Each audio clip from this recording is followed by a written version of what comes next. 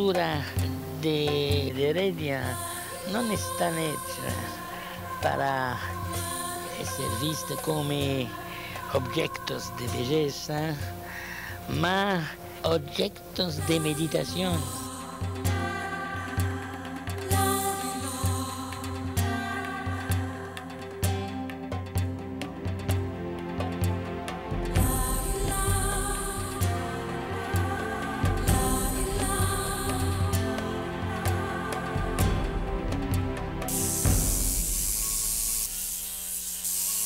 No solo rompe esquemas al mostrar la relación afectiva del santo con los niños, también inaugura un estilo de formas simples dentro del mundo barroco de la basílica. La interpretación no es ortodoxa porque ninguna de las esculturas que están dentro de los nichos de la Basílica de San Pedro eh, tiene este, este carácter de forma profundamente simple. Bisogna lavorare il tutto come se fosse un elemento astratto, ecco, eliminando tutti, eh, tutte le imperfezioni e raggiungere la superficie pulita, cercare di modificare questa linea di sopra per darle più spazio al braccio nella parte inferiore.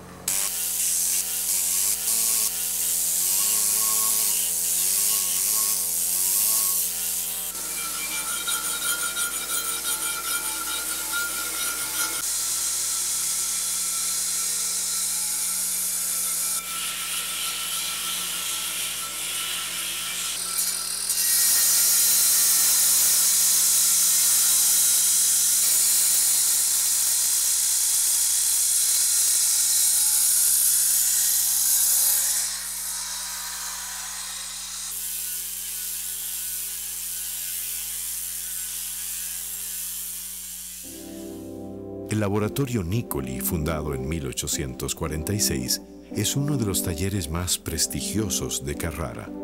Los artesanos reproducen con virtuosismo las obras de los artistas, quienes se incorporan al final para dar los últimos detalles.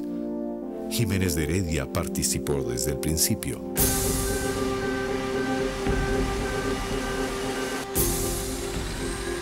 Les tomaría cuatro meses esculpir al gigante. El bloque destinado a convertirse en la figura de San Marcelino se extrajo de la cava Fantiscriti, activa hace más de un siglo.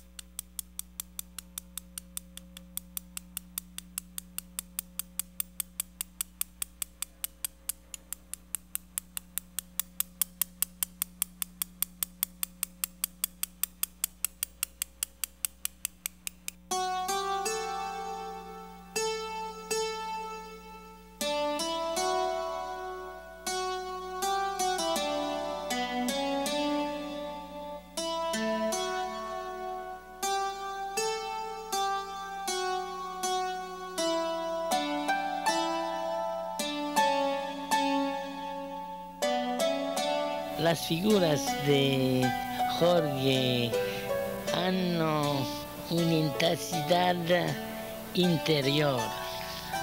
No existe en este caras la voluntad de establecer un diálogo con el espectador. Son los ojos del interior. ojos para ver en el interior.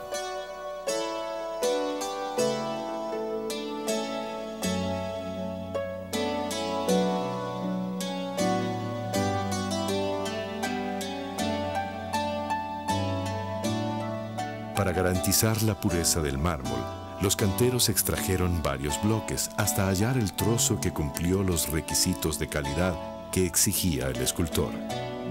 Midió 6 metros de altura y pesó 30 toneladas. E guardare un attimino qui eh, il punto di congiunzione tra il braccio di sopra e il braccio di sotto e trovare la linea proprio perfetta, pulita, pulita.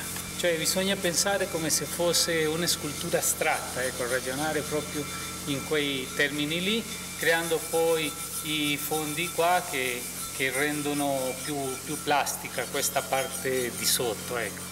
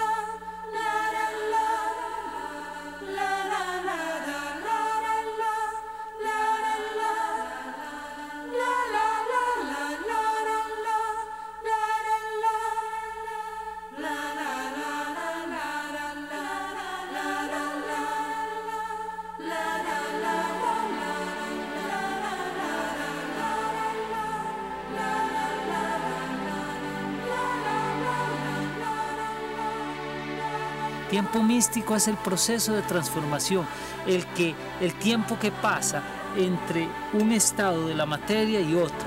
Eso que pasa, que no lo vemos, se llama tiempo místico. Es el tiempo en el cual se permitió el milagro de la existencia.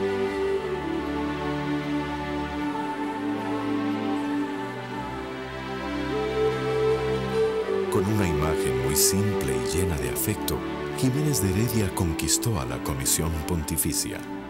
La escultura de San Marcelino pertenece a un proyecto que inició en el año 1706, colocando esculturas de los santos fundadores de órdenes religiosas en los nichos de la basílica. La escultura tendría que subir 7 metros de altura para entrar al nicho. La responsabilidad fue del artista. Una vez terminada la obra, se preparó para ser trasladada por tierra 400 kilómetros desde Carrara hasta Roma. Entre una semilla y una planta pasa algo que nuestra razón no lo puede entender, pero nuestra conciencia irracional sí, y la que nos llama a relacionarlos con el mundo cósmico, el mundo espiritual, Dios. Esa es la presencia de Dios, si queremos definir. Lo que pasa ahí se nos va de la mente pero queda en nuestros corazones. ¿Por qué? Porque forma parte de nuestra esencia. En 1955, Restany descubrió la obra de Yves Klein y lo convirtió en el principal exponente del nuevo realismo, que buscó humanizar los objetos industriales. Casi 50 años después, cuando había concentrado su trabajo en el arte abstracto, Restaní descubrió la obra de Jiménez de Heredia. Mi encuentro con eh, Jorge fue veramente fantástico y fascinante porque fue la segunda vez en mi vida que tenía la oportunidad de encontrar este tipo de seres uh, excepcionales. Uh, la primera vez fue con el famoso pintor monocromo Yves Klein, con el su azul universal, que tenía también este sentido global de un acuerdo íntimo, orgánico del hombre con el universo.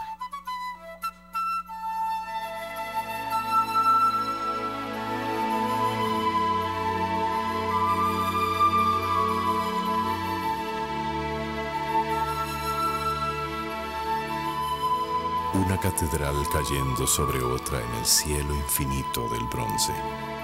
La curva de la cintura es negra solidez y transparencia.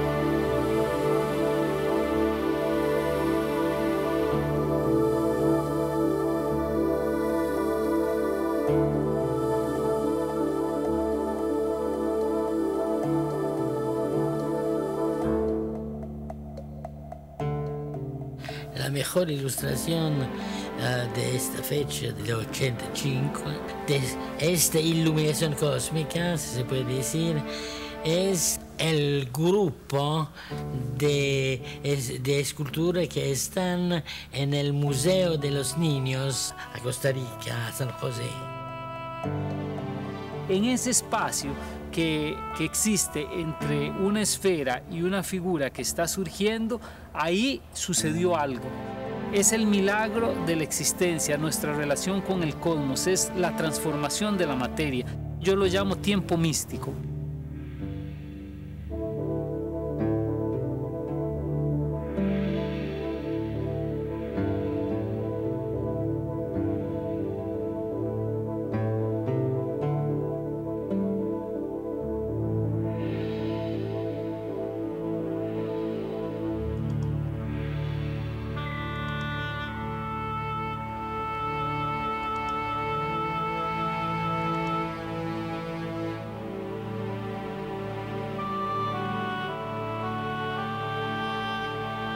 Las tres esferas están orientadas en la dirección de uh, tres estrellas del centurión de Orión. No me recuerdo exactamente el nombre de las tres estrellas, pero yo lo noté aquí. La primera es uh, Alnitak la seconda al Milam e la terza Mintaka. Las esculturas del Museo de los Niños están colocadas en relación con las estrellas, igual que se cree estuvieron las esferas precolombinas. Estas se hallaron en conjuntos que formaban alineamientos como triángulos y rectángulos que podrían corresponder a las principales constelaciones.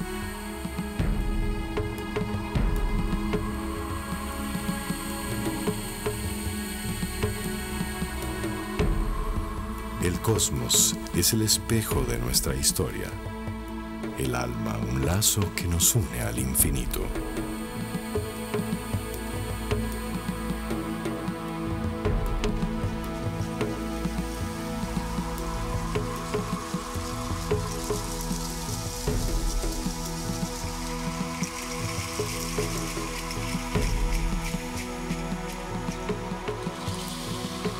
Los borucas trabajaron el oro, el barro y la piedra en un estilo de líneas puras y conceptos abstractos. La colección de oro en el Valle del Diquis es una de las más grandes del mundo precolombino.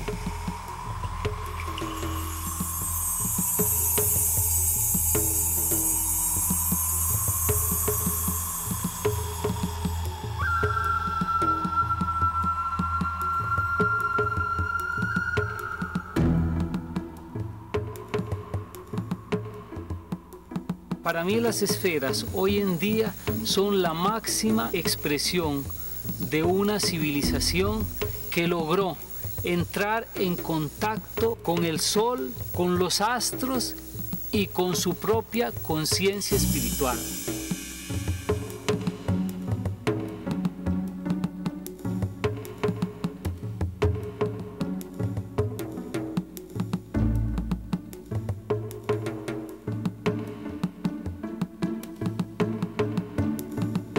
Tres elementos rotondos verticales están en la estatua del santo.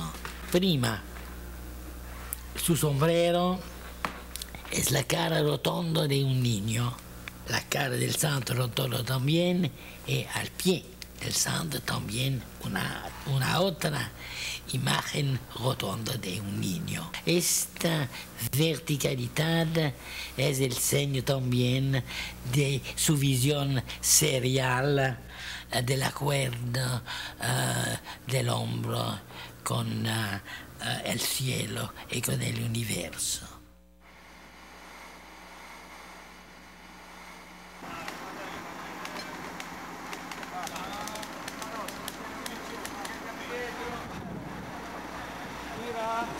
Tomó un día de trabajo subir la figura de San Marcelino al nicho diseñado por Miguel Ángel. Durante 500 años, todas las esculturas de la Basílica de San Pedro fueron de artistas europeos. Jiménez de Heredia cambia la historia.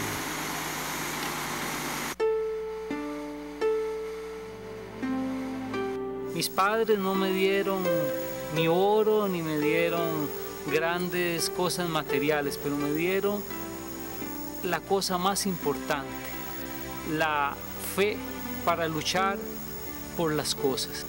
Creo que la imagen de mi padre es fundamental. Luchó siempre porque él quedó paralítico cuando tenía 30 años.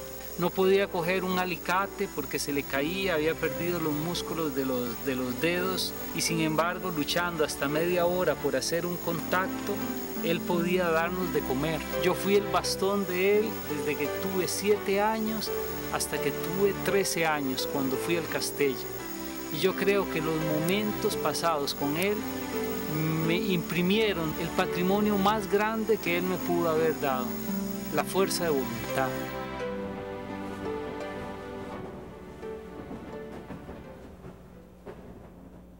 Tras un año de trabajo intenso, Jiménez de Heredia finaliza su monumental proyecto. Faltaba aún la ceremonia más importante.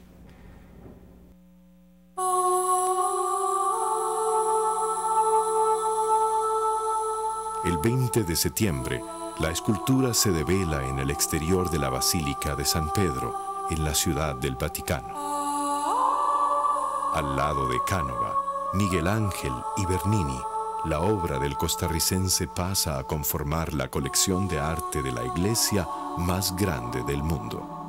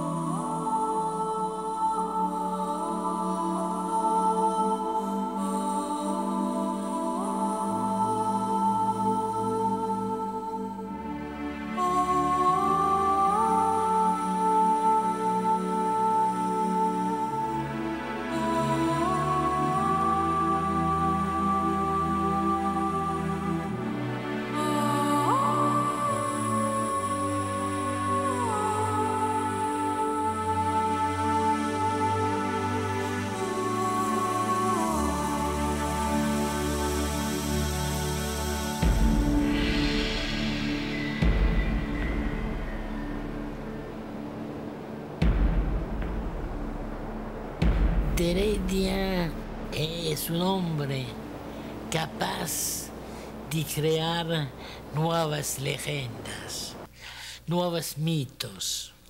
Él está